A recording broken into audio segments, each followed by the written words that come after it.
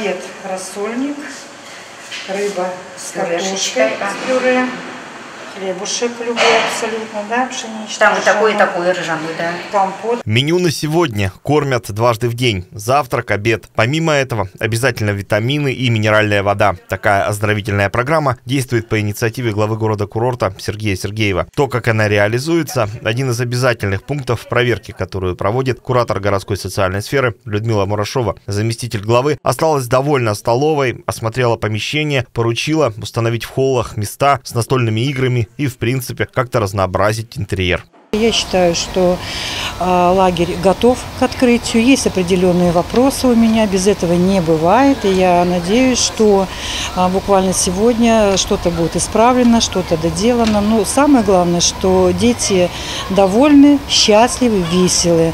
А, педагоги, воспитатели, психологи с любовью занимаются с этими детьми. Летние лагеря работают по утвержденному плану. В школе номер 6 основной поток до 180 человек пришелся на вторую смену. Третья только началась. Сегодня пришли все 55 ребят.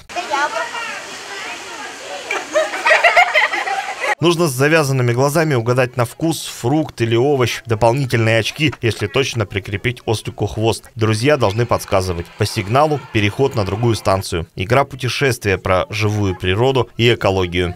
А на что еще могут леса жаловаться, кроме этого? За то, что, за то, что мы рубим деревья. Валим костер. Молодец. Как правило, за одну двухнедельную смену здесь проводят 3-4 таких массовых игры. А на закрытие ребята готовят большую музыкальную постановку. Уже распределили роли. Массовые мероприятия всегда это весело, самое главное, это здорово. Дети учатся взаимодействовать, работать в команде, работать на результат, то есть общаются, веселятся, разгадывают загадки, конкурсы, друг за друга болеют. Помимо этого, будут работать кружки по английскому языку, шахматам, плетению из бисера, спортивные игры. Семиклассник Виталий предпочитает футбол. Нравится э, играть, там, бегать, веселиться. Всего в этом году в детских лагерях отдохнут более 4 тысяч юных анапчан. Главная задача, чтобы ребята укрепили здоровье, получили заряд веселья и настроились на учебу.